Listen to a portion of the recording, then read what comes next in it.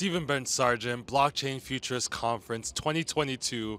Vitalik is talking in the background, but we stole the marketing extraordinaire here today to talk to Liza a little bit about marketing in the tech space like cryptocurrency.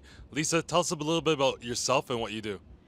Thanks, Stephen. It's a pleasure to be here. Very exciting times. The Futurist Conference in East Toronto has just been amazing experience all the way around.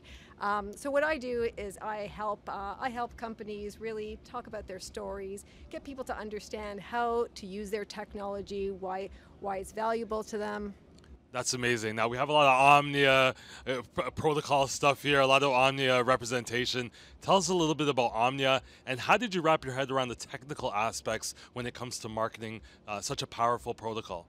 Oh, well, Omnia, eh, definitely a fan of Omnia, um, as you can tell. Um, Omnia is one of those uh, best kept secrets that we're trying to kind of amplify to the world. Um, what they actually do is whenever you, um, whenever you interact at all with a blockchain, whether you're buying an NFT, you're buying a token, anything at all that interacts with a blockchain node, you're actually amplifying a lot of your information, your private information. So in Web 2, we all know that our IP address, everything that we, we do is tracked our behavior, and we're all upset about it that other companies can capitalize and monetize on it. Um, in the Web 3 world, the whole thing is about data ownership, giving back the ownership to, to the user, but the nature of the blockchain is to be transparent.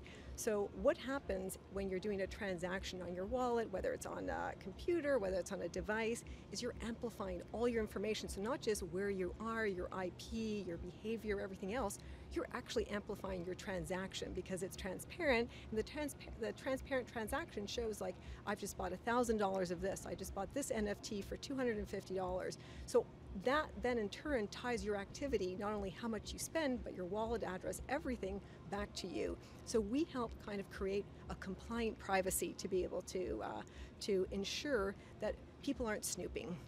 That's awesome. Now we've had several interviews today with Christian, Alex, and some uh, great American and Canadian uh, crypto compliance professionals. Alex and Christian are really, really humble and shy, it seems like. How do you bring uh, the excitement and how do you amplify those brands where they know their stuff technically, but they may not know how to present it, or it might feel like bragging depending on which jurisdictions they are coming from around the world? Oh, that's a that's a great question. I think what I'm really really fortunate as a marketer is that I'm working with two founders that have been instructors, they're professors, so they know how to teach. They know how to simplify and break down things. So they've really made my job super easy to be able to do. That's awesome. There's been a lot more activity, I think, than Omnia Protocol booth today than we've seen in normal years on the second floor. They have a nice little carve out there that's courtesy of Tracy and the rest of the amazing Untraceable team. Talk to you a little bit about like what is it worth getting a booth? Is it the visibility, having the team members here who were here as a group? This is their first team meeting, but they have a strong presence, maybe the strongest presence here at Futures. Talk a little bit about either the strategy or some things that you've learned from this process. Well, I think we were super fortunate, and it comes down to you can have the best booth design, you know, the best T-shirts, the best swag, but really it's the organization. The way Tracy and the Untraceable team have put this conference together, they had every single detail, and they made sure whether you were a small startup starting out or whether you were a massive, you got the same attention we were super fortunate um, because our team was flown in from all over. We're a global team. We definitely had a presence here. We're, we were uh, we were very fortunate to. Uh, to land what we think was not only the best spot but the best group and we had people flocking to us which was a real treat. That's awesome, and thanks. Shout out again to Tracy and the team. Talk to us a little bit about, you know, I help uh, produce the Chainalysis Public Key podcast, and the CMO there is actually very technical, and he's the host of the podcast. And tell us a little bit about either whether you're a technical uh, marketer or a non-technical marketer. How do you appeal to those tech savvy and crypto focused companies uh, with your services? No, thanks. Thanks. That's a that's a great question because I think this entire space is all technical, and there's some incredible technology and uses to be able to do it. Yet it's true. It's simplifying it. It's like, why would I use it? Why would I hire this application to make my life easier? And um, and I would call myself more of a technical marketer because if I truly want to understand and get either devs to start um, using our, our, our, software, or if I want to be able to onboard users or investors, it's it's something that they have to understand and um, and yeah, it's a lot of it's a lot of YouTube. It's it's a, it's a lot of white papers. It's a lot of time with Alex and Christian. Sort of help they they help me a lot go through their technology, their tech stack, their developers. They really take the time. So I have to usually invest quite a, like hundreds of hours of, of, of, uh, of, just information absorbing and going back in questions and uh, yeah to be able to to be able just to say that one line. This is what Omnia does.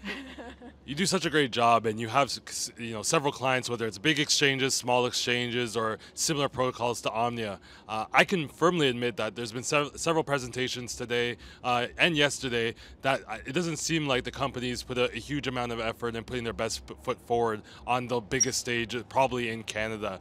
Uh, what's some advice that you would give? As just a, a, marketer in the audience that could help some of these speakers or companies be able to broadcast uh, their message a little bit clearer while they have that 10, 15 minutes on stage? No, that's you know that's too true. Typically in these events, right, you spend a lot of money to come here and then you kind of expect like build it and they'll come and it just doesn't work that way. You really have to look at every single detail. So um, you know, Omnia really only knows how to put their best foot forward, and it took. So we did definitely do a good, like a few months of planning here because everybody was coming in from all over the world to be able to get to know the people in Toronto and, and, and to get to kind of know them in advance. Um, everything from the swag to the T-shirts to you know the presentations to setting up meetings. It, it was a it was a lot of effort. It was a team effort that put it together, but it's not just build it, show up at this, you know, show up at the booth and you know just hope people come to you. It, it, uh, it, it it's a lot more than that.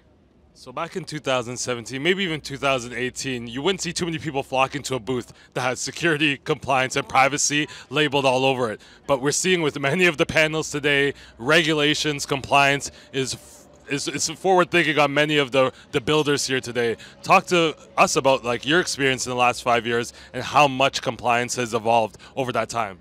That is so true. I just came from, uh, from you know, I, I, I, go to a lot of blockchain conferences, and one of my biggest concerns was a lot of the security booths were empty, right? And I was like, oh no, right uh, there, the compliance booth, there wasn't a lot of attention being put to them. So, um, but I don't know if it was in the last few months that that, you know, that just has changed with everything that's in the news, with, you know, all the, all the exchanges, you know, going back, to the exchanges, but, you know, hacks and, and different things. There's a lot more eyeballs to it. So yes, we're, we're thrilled. People were coming up to us and said, we came up to you because we saw security, privacy, and compliance, and that's important to my business. So it's not just if you're an exchange, anything at all that you're developing where you have users on your application, you have to look out for them, right? And um, and you have to do the research to look out for them and, and be able to find tools. So we're a middleware and we're a tooling that helps um, helps organizations just really abide and, and, and make their users safe and protecting.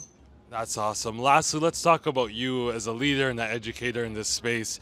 Now, a lot of these firms, especially with the bear market that we're going through, don't have a lot of money to spend on marketing. They never really prioritize marketing in the first place. So talk to us a little bit about what you, advice you could give those that do have a marketing department, and for those that are using some of their operations people to do the marketing, or some tips, some helpful tips you could give them quickly that they can implement immediately after this conference. Well, I think one of the, the, the, strongest things, especially coming out of the pandemic and COVID, is that getting that face-to-face, that face-to-face interaction and, and just going back into the community, just connecting back with people, I think has been one of the most important things that, uh, that we've been doing, just reaching out, uh, participating, uh, participating, asking people like, you know, how can I help you, right? How can I help you uh, with an area that me, we might have? So it's, it's less about me and it's all about kind of us and really building out the ecosystem. With here, um, during the, the crypto winter, it's, it's, about, it's about more of a community than I think that I've ever seen in the past. Thank you so much, Liza, for taking your time. One take, amazing job with the interview. Thank you so much. Thank you so much for having me.